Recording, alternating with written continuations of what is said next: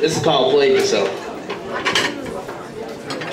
From across the room, when I look at her, I experience joy and laughter. And when she comes up to me, I get a little slight of uh, sleep paralysis because I'm thinking about all the moments from now till forever. See, she makes me question things like, what's the point of darkness when she's the light of my world?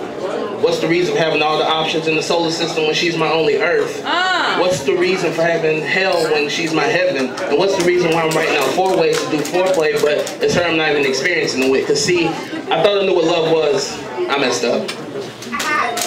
Till I, till I realized that I had to confess to her that her smile melts my heart, which means I'm not able to function without her in, her, in my presence, but they ain't even Christmas yet.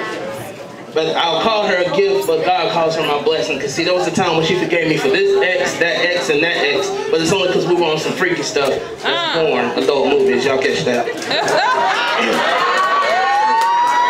There we go. And y'all, she, she makes me do crazy things. Like she makes me want to go an all gold suit like the O'Jays and sing Forever Mine. Ah. She makes me want to bap. No, she makes me want to sin after my baptism on the Easter Sunday. Ah. She she makes me want to step in the name of love even on my worst day. But you all, they told me that I need to find a woman that can do both, and that reminded me of a cassette tape. Like side A was me wearing a shirt and tie, being classy, nothing too freaky. When she came out in that little black dress, cause she knew Big Daddy kinda wanted to get sneaky.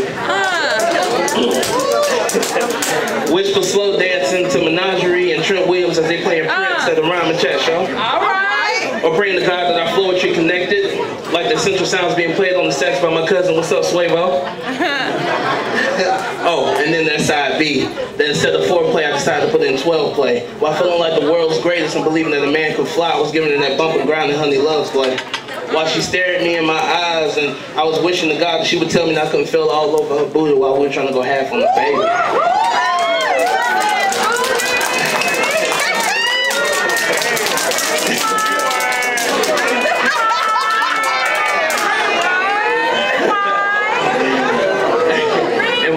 It ended with a subtle kiss that left an aroma across my upper lip, but tonight I'll call it her ecstasy.